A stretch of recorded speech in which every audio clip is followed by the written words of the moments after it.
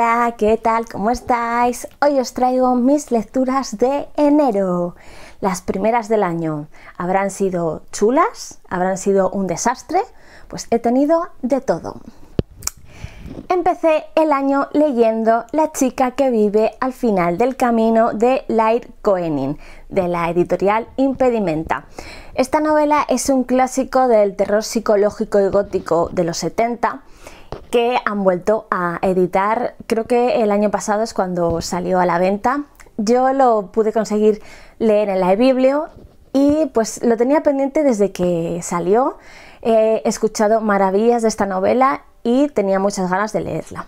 La verdad es que me ha gustado muchísimo, engancha desde el principio, me parece que la construcción de, personajes es maravillosa y la verdad es que se ha convertido en uno de mis favoritos. Mm, es verdad que estamos en enero, a primeros de año, y esto hasta final no se sabe, pero de momento le he dado muy alta puntuación. Seguí con una lectura relajada, El hombre de tiza de CJ Tudor, de la editorial de Bolsillo. Este lo conseguí en una tienda de segunda mano de Valladolid. Tenía el segundo de la autora, que en una oferta flash lo compré para Kindle. Y pues como vi este en segunda mano, pensé, pues prefiero empezar por el primero que escribió. Ha sido una lectura muy entretenida. Eh, también es una novela que se bebe sola. Mm, no entra dentro de mis favoritos de la vida, ni mucho menos. Pero bueno, ha sido una lectura bastante amena y es lo que yo la pedía. Mm, sin haber leído yo mucho de Stephen King, sí que siento que tiene ahí mm, bastante pozo eh, de su obra, sobre todo las novelas más de terror infantil en el que aparecen personajes, em, bueno, adolescentes, más que infantiles, adolescentes. Mm, me, ha dado un poco esa vibra. De hecho, los personajes em, protagonistas tienen un poco ese perfil de Mm, películas como Cuenta conmigo, It. Eh, digo películas porque sé que las dos obras son de, Stephen King, pero yo solo he visto las pelis, no he leído los libros. Pero pues ese grupo de amigos de los 80, 90, eh, que son un grupo de cuatro chicos y una chica, ese tipo de grupos, ¿no? Pues eh, es de ese rollo. Pero bueno, la verdad es que, como os digo, me ha entretenido mucho y como tengo su otra novela en Kindle para leer, pues también la leeré. Después leí una novela que tenía pendiente de Red Books porque tengo tres novelas que me han enviado pendientes por leer. Ahora solo tengo dos, voy bien, avanzando poco a poco. Eh, lo siento yo, lo intento, pero es que me comen los pendientes. Y esa es Estación Niebla de Enric Erce. Es un autor español catalán concretamente de Barcelona. Esta novela entraría dentro del subgénero del cyberpunk. Se nota la influencia que el autor tiene de autores como Philip K. Dick o William Gibson, que son como los exponentes por así decirlo, del cyberpunk. Eh, bueno, hay muchos otros ejemplos, pero mm, son los que yo conozco y he leído.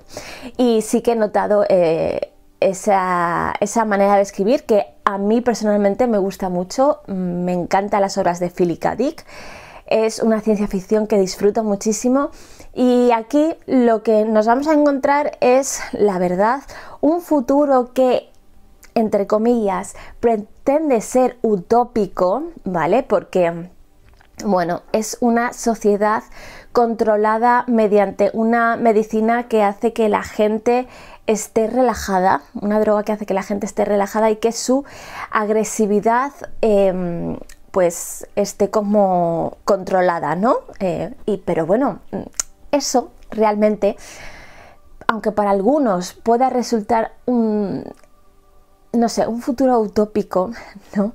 No, no eh, la forma de eh, llegar a, eso, sino la situación final, ¿no? Ese mundo en el que la gente está relajada y como vive la armonía, cuando lógicamente no es así, porque no son libres, dependen de una medicación y hay un grupo de policías que se dedican a, pues, eh, registrar si, pues, la, la gente en general se toma esa medicación, si hay algún altercado, pues les hacen como un análisis para ver si han dejado de tomar la droga y demás. Bueno, Ese es como el principio de la historia. Es una historia que mezcla varios temas. Por ejemplo, uno es el de la memoria y los recuerdos, que es lo que más eh, interesante me ha resultado de la novela. Y nada, yo la verdad es que la recomiendo mucho. Si no conoces mucho de, de este subgénero del cyberpunk, creo que es una novela muy interesante para comenzar con el género. Sigo con una novela que me envió Dilatando Mentes, que yo en cuanto vi la sinopsis y la portada de esta novela, sentí algo, sentí que me llamaba, mm, pensé, ¡buah!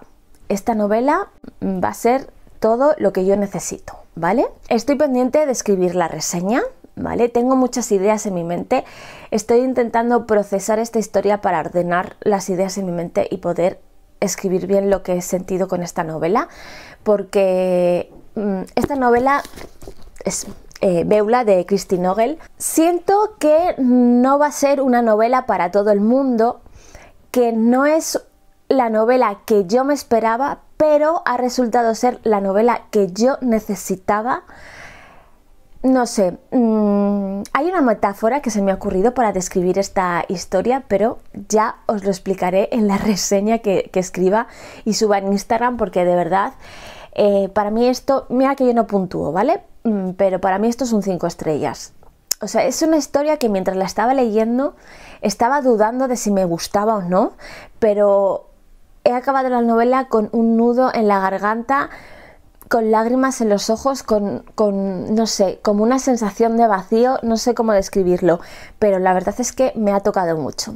Así que la recomiendo muchísimo, pero ya os digo que no sé si va a ser, no creo que sea una novela para todo el mundo, no creo que todo el mundo le, vaya a llegar igual. Eh, yo creo que es una de estas historias que o amas o odias.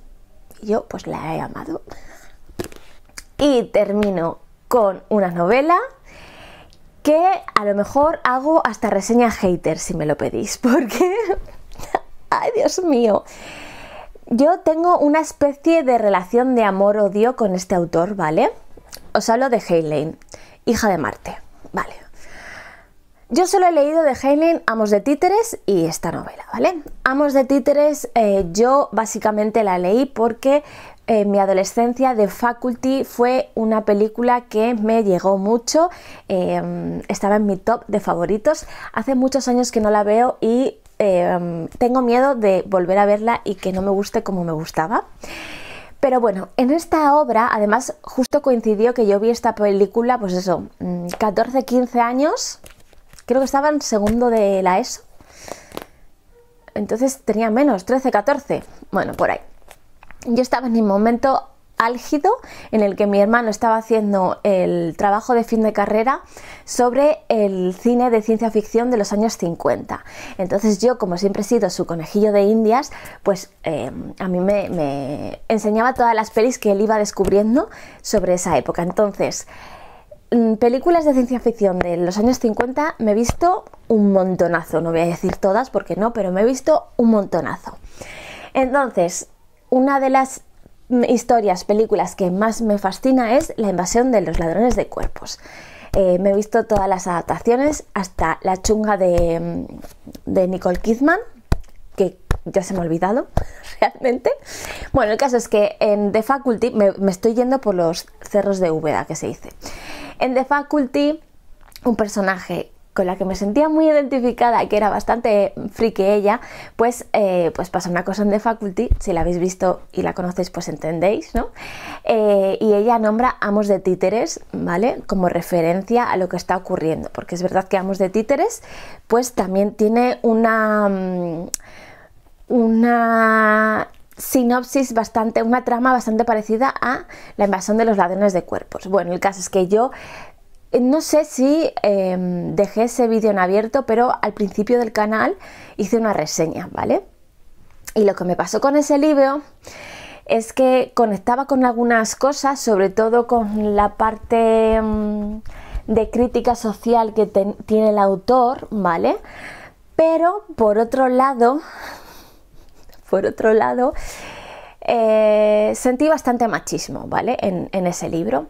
¿Qué pasa? Que yo después leyendo sobre Heinlein y tal, pues he leído mm, reseñas y, gente que conoce más al autor que habla de que eh, él fue un adelantado en su época, que era una persona que, utilizaba sus novelas para satirizar ciertos temas y que, bueno, que en realidad él lo que, lo que criticaba, satirizaba era el machismo, ¿vale?